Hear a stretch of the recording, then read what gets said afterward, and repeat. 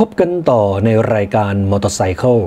ช่วงนี้เราจะมาเกาะติดความเคลื่อนไหวครั้งยิ่งใหญ่ของ Honda โดยบริษัท Honda Aircraft Company จำกัด สำนักงานใหญ่ของ Honda Jet ในเมืองกรีนส์โบโร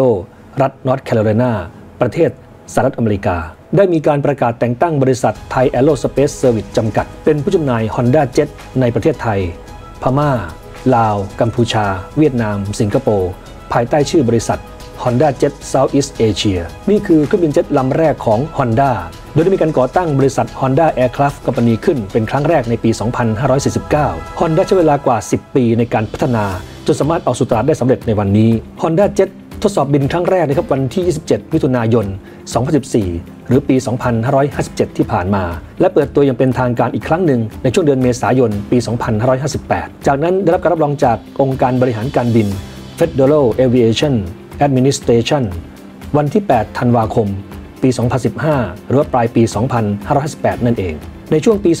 2559 ที่ผ่านมา ปีแรกของการจำหน่ายนั้นทำไปได้กว่า 100 ลำ และไตรมาสแรกของปีนี้นะครับสูงไปแล้วกว่า 15 ลำ โดยเปิดราคาในตลาดโลกอยู่ที่ 4 ล้าน5แสน US ดอลลาร์ คิดเป็นเงินไทย 135 ล้านบาท แต่ว่าราคาในเมืองไทยนั้น ยังไม่มีการประกาศอย่างเป็นทางการ สำหรับ Honda Jet นั้นเป็นเครื่องบินไอพ่นน้ำหนักเบา ที่บินได้เร็วที่สุด ถึง 780 กิโลเมตรต่อชั่วโมง บินได้สูงสุด